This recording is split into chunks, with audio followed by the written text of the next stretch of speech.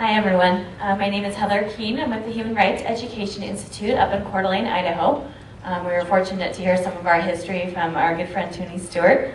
Uh, but just to give you a quick overview, basically we celebrate diversity um, and promote human rights in Kootenai County through education programs, essentially. Um, this ranges, we work a lot, partner with the schools, do a lot in the K through 12 schools um, throughout Kootenai County, as well as general community programs, partner with our local nonprofits who are also working on human rights types issues. Um, we're just happy to be here and partner with you all in any way possible and just be part of this organization. So thank you.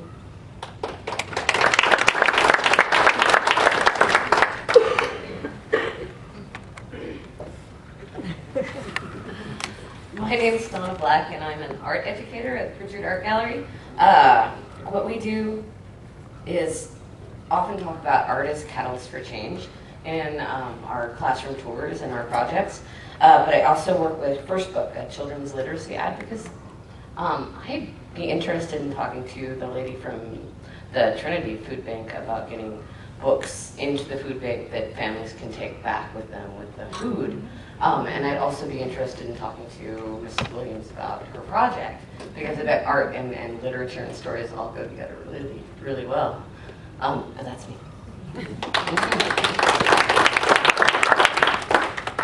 Uh, hi. Oh, sorry. Um, my name's uh, Jonathan Cannell. I am a local student here at the University of Idaho. I've lived here pretty much all of my life within the area. I was raised in Potlatch. Uh, I'm a member of the Gay Straight Alliance here at the U of I. It's the local club that uh, works to have uh, straight students that are uh, considering themselves allies and uh, other students that uh, have identified through different uh, sexualities to work together and make a better uh, community here at the uh, university. I'm also with the uh, Brotherhood and Empowerment Against Rape Club, uh, also known as BEAR, uh, which is working towards getting male students on the university to take ownership of the um, the stereotype, or not, I wouldn't say stereotype, but the action of rape that has been attributed to men due to us usually being the ones that cause the action. Um, taking ownership of that, working to change that, and working to make ourselves better people and hold other men responsible for that as well. Uh, also to understand gender equality and gender uh, issues. Um, I'm really a new member of both of these groups, and I felt like coming here to this meeting would help uh, uh, make myself a better member of those parts of the community. Uh, I'd also like to say that I'm very honored to be uh, in the presence of so many individuals that are working so hard to make this world and this community, this country, such a better place and such a more equal place for all peoples. So, thank you.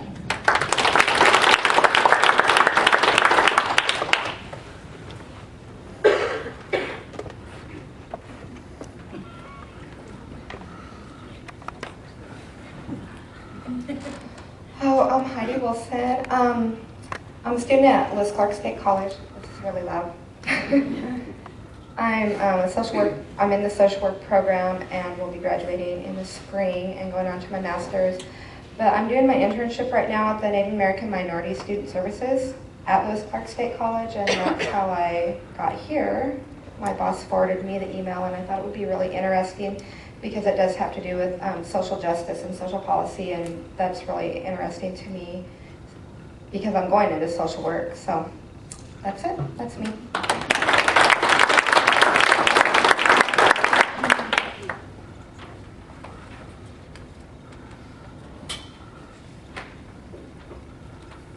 Uh, My name is Lisa Rosier. Um, as Tony said, I'm chair of the Human Rights Commission for the City of Spokane. And you've probably guessed by my accent, I'm not local. Um, I'm originally from Australia. I was born and raised in Australia. And I moved over here when I met my husband, who has a severely disabled son who has a very rare chromosome disorder. Um, he there's about 50 cases in the world with his disorder, and he's outlived his life expectancy by 20 years. He's now 32, although intellectually he's about 18 months old, and he lives at home with us. So he couldn't immigrate to Australia because of his medical issues, and so I left that my country behind and moved here. But I've always been involved in human rights issues, from the time I was a child. I was a child caregiver for my mother who was badly burdened a house fire. And so I took care of her, went into law enforcement, was in uh, the state police department there for 22 years. Did a lot of work on violence against women, so a lot of the issues that you've raised here we were doing in the 90s. Reversing stereotypes. Um, we worked a lot with the male um, uh, groups from universities, particularly the Blue and White Ribbon Campaign every year, which was um, established as a result of the massacre of the women in the Montreal University, where men got together and marched every November. And I was able to get our male officers, a department of 10,000, to cross the state to start doing that. And we wore blue and white ribbons protesting violence. We also did that on International Women's Day, wearing purple, green, and white ribbons protesting violence against women. And it was a big coup for us to get the men in the police department to also contribute and to be aware of that and to wear those ribbons. Um, some of the other things that have touched some of the issues that you've raised here that we were able to, to put in place was working with our sex workers or prostitutes in Australia, the more political correct term is sex worker. So we were able to do, we were able to do a lot of work with them and develop sexual assault protocols across the state, working with the medical profession, universities, hospitals, police departments, prosecutors, where we've now established protocols that we all know where our role is. So there's no conflict, and particularly working with our advocates in that field. Um, we also um, established a reference group, which is what you're doing here, of uh, at least 40 people from all different backgrounds and diverse communities to look at the information that was going out make sure it was current and, uh, and that it was, was accurate in developing proactive programs reversing stereotypes. So we never had women walking down a dark alley saying, don't do this, don't do that. We never had domestic violence. And this is in the 90s. We never had domestic violence media where we had a woman cowering. You know, domestic violence is, is illegal or it's bad. Um, I was able to stage a photograph with our newspapers where we had a woman standing in a doorway, feeling very empowered, and the, the male was being led off in handcuffs with his head down by two officers. And so the reversing a lot of those images is very, very important. And it goes along with what Tony was saying. And our philosophy, the motto we had was community, women's safety is a community responsibility. And we had stickers and flyers and things like that on cars. And you could do that here. Um, the role that I have now with the Human Rights Commission, you know, we're all volunteers. You know, we've been doing a lot of things like having an umbrella. We developed an umbrella approach and that umbrella encapsulates everything from um, hate crimes, diversity, um, disability services, um, and, um, and also um, looking at human trafficking as well um, under that umbrella and how we can educate and make recommendations to, uh, to the city.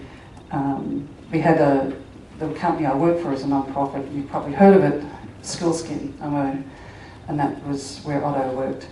And um, I, um, I'm a director of supported living there, and we're doing a lot of work trying to get people with disabilities employed. But in the office, I have 60 staff. They represent Ethiopia, India, Pakistan, uh, America, obviously Australia, and uh, quite a few other countries. So I had a diversity potluck, and that might be something you might want to think about in your organisation. And everybody brought uh, food and it was wonderful. It was a great way to bring people together to talk about their culture, to talk about the food. We even had a big stainless steel pot to give to the winner with some ribbons and things like that, and the atmosphere was electric.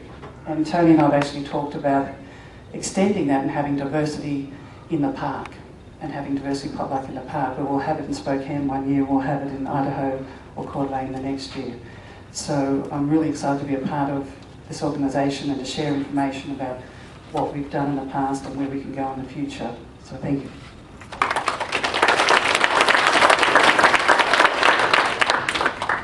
Uh, my name is Norman Gissel. Um, I'm born and bred in northern in Idaho. Uh, in uh, 1960, I attended a national fraternity conference. Uh, I was staying in a fraternity up on the hill, Delta Tau Delta, and the hot topic in those days was civil rights and when will we, a racist organization, going to change our national policies? and um, integrate. And they hemmed and hawed and hemmed and hawed, and, and uh, a bunch of us got together and says, we can roll these SEGs. They don't know what they're talking about, so we're going to integrate anyway, and we're going to challenge them. So in 1960, we integrated the Delta Tau Delta fraternity. It was a lot of fun, and we never looked back, and I've been doing that sort of work ever since. Um, it's, and I'm a member of the Kootenai County Task Force at the present time. And over time, it was what we did, and then at some point in time, you wake up and that becomes who you are. So I am so fully integrated in human rights that my identity is really completely and totally as a human rights advocate.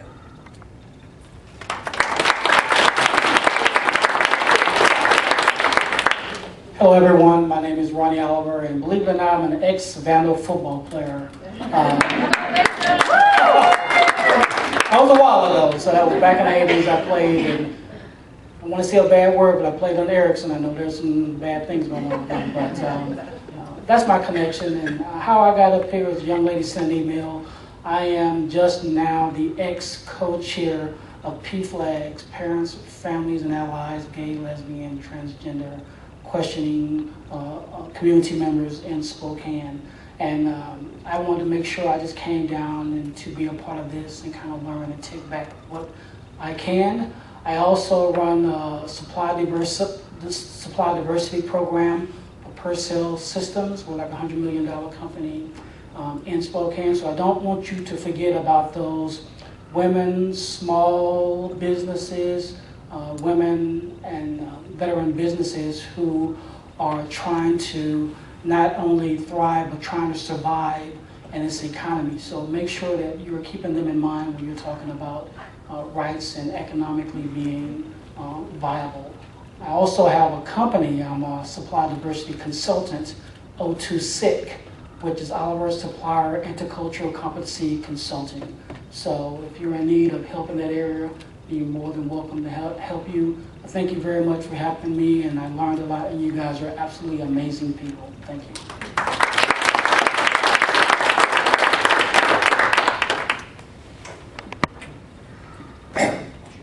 Uh, my name is Ken Fonts, and I'm the chair of the Moscow Human Rights Commission, and I'm actually have lost my voice. Uh, so I would ask either Lynn Eight or Carmen to explain what our group is and doing, because I don't think I can do that right this month. So, My name is Lynn Eight, and I'm with the Moscow City Human Rights Commission as well as with the Latah County Human Rights Task Force. And um, the commission, no, I haven't been with it from the beginning, but it's not more than about five or six years old, uh, if I'm correct. And um, we provide um, guidance uh, when there are questions of human rights to the city council, then the commission will uh, have a discussion and provide uh, a position uh, that they recommend that the council or the mayor take. And they may or may not take that position, but at least we are able to provide that expertise as well as um, provide social justice forums. I think Rula mentioned one of them. Uh, we do three or four social justice forums on important topics of equality uh, for the community in terms of public education on a routine basis. Um, and we do also uh, recommend to the mayor um, and uh, every other year uh, a community member to be recognized for a unity, uh, community unity and human rights, uh, you know, activity in the community. Anything else? The community walk. Oh, yeah. Uh, Community Walk, the Community Walk in Moscow is really kind of a separate organization, but the commission does support it financially. Um, The Community Walk is basically an annual event which uh, encourages people in Moscow to walk on common ground regardless of their backgrounds, that at least uh, one day a year we all come together as neighbors in Moscow, regardless of our beliefs or regardless of our values or our wealth or whatever, but for at least one day we all come together walking on common ground in Moscow.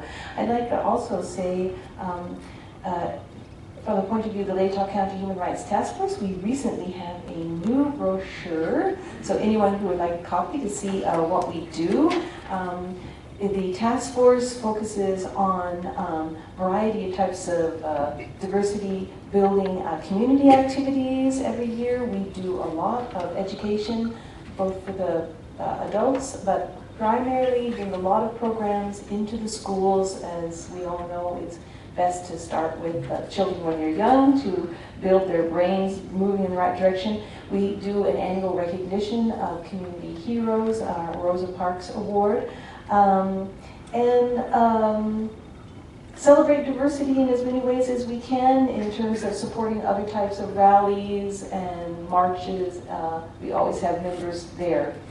So anyone who would like to see what we've been doing, feel free to come to the brochure.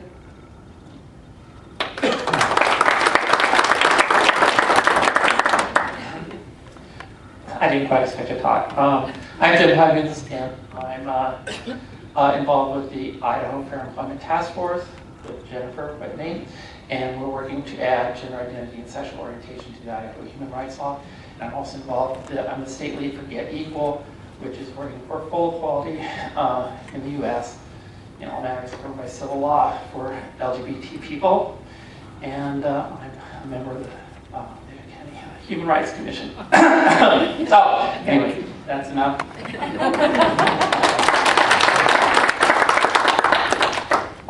Good afternoon. I'm Leslie Rist. Um, first, I'd like to say that I'm a mom, and because of that, I'm an ally. I have a 32 year old daughter who was born with Down syndrome, and I also have a younger daughter who is bisexual. And so, my interests and passions for service come out of my experience of the struggles both of my children had. And I will hold that near and dear until my dying day. And I would like to thank the young people who came here to serve today. They're from my sex and culture class, and so Shelby, thank you. Some of the other members who came here to serve today um, have already left, but thank you. As a professional, um, I am an educator, and my background is in business. And uh, here a couple of years ago, I saw real tension in business systems, really based on inequities of social and economic justice. And so my work as a professional now is not only as an educator, but as an advocate for social and economic justice in our communities. Uh, a few years ago, I got certified by the Idaho Department of Education to be an interest-based negotiator and trainer, and my interest in that area is in conflict resolution when we see the ugly head of uh, bias and discrimination rear itself in industry. I'm Christine. I'm Christina Crawford, and I'm president of the Benewah Human Rights Coalition.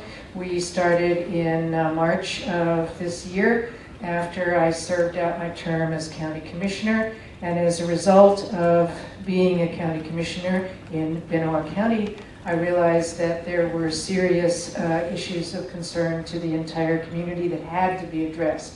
So um, all the people at this table are board members, and I will turn it over to them after I just tell you that we had um, a very successful uh, campaign that we worked with uh, the uh, two school districts, which had never happened. I mean, we're very, very touched and proud uh, of the students, the teachers, the principals, the superintendents. Um, this, we met with the two school districts, um, uh, Lakes, Lakeside, and we, the county is divided basically into two. Um, there are three districts, but it's basically divided in half. And uh, they don't talk to each other. Most of them don't know each other. Uh, they, there's no socialization to speak of. Anyway, we went to both school districts and we sat down with them one-on-one. -on -one. They identified the issue of paramount concern to them. And then as uh, Benewah Human Rights Coalition, we sponsored um, a, a, program uh, to address the issue of bullying in the schools by the students. And uh, we gave four first prize $100 checks and two uh, second prize for all the schools. They were not, it's really important to understand, they were not in competition across school districts. They were only in competition with their own school. And for the first time, last Tu, this past Tuesday, um, principals, teachers, and the winning students and their parents all got together in Plummer for the awards ceremony. It had never happened before, and we're very proud of that. So here's the rest of the the coalition. Hi, my name is Larson. Uh, I'm the Marilyn that Tony talked to you about, that with Christina, he took us to lunch and he paid. Uh, I, I join with Christina and the rest of the board on how proud we are. I'm also the uh, Benewah County Veteran Services Officer.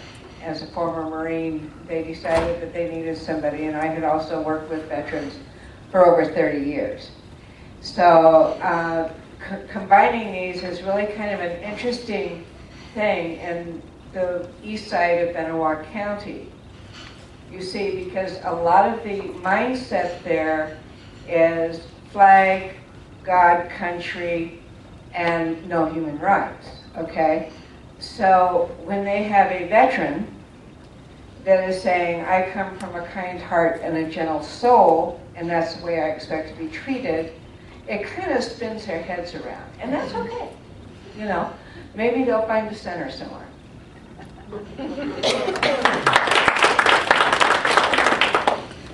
I'm, no idea how loud this is. I'm Jill Wagner. I am the secretary currently for the Human Rights Coalition. When I heard it was happening, I asked to join. I'm also in the Food Coalition, which is seeking food security in Benewah County. Despite it being filled with farms, a lot of people are hungry and malnourished and overnourished. and um, I'm also the Tribe's Historic Preservation Officer, and I'd like to talk to Sarah before she fails on.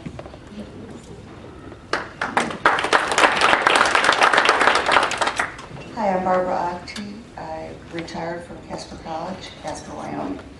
And uh, I just kind of wanted to get into something. This is near and dear to my heart as well.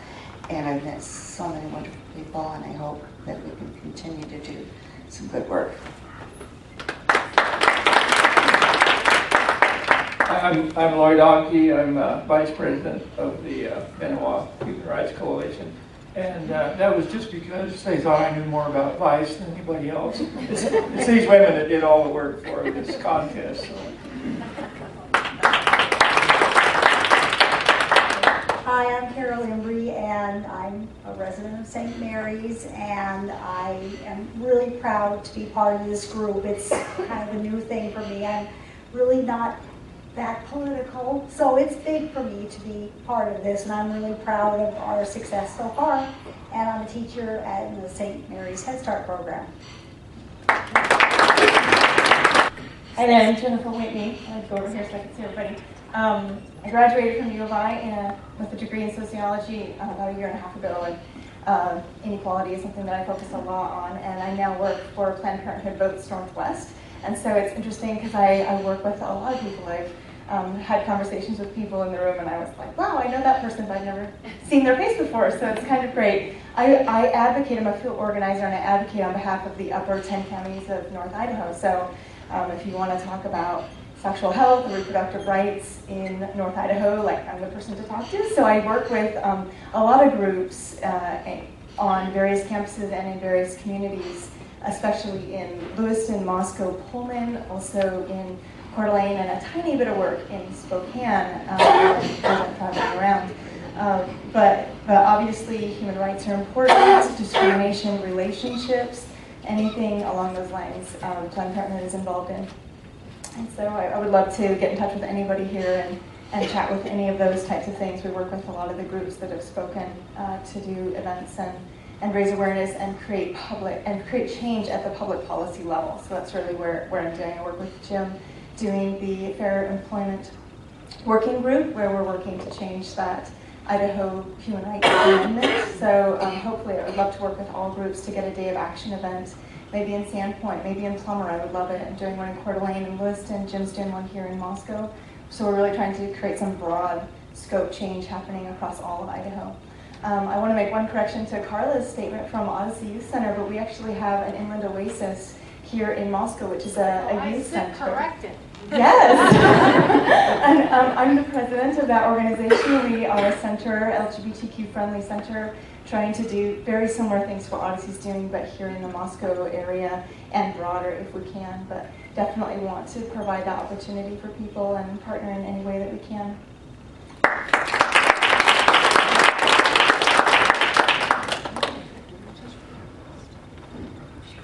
Hello, uh, I'm I'm just beginning my work in, uh, in advocacy and stuff. I haven't done a lot of things along that regard, but I'm almost ready to graduate with a degree in broadcast media, and I really want to immediately, when I graduate, work on political things uh, that relate to my degree. So I want to make films and stuff for any of you people.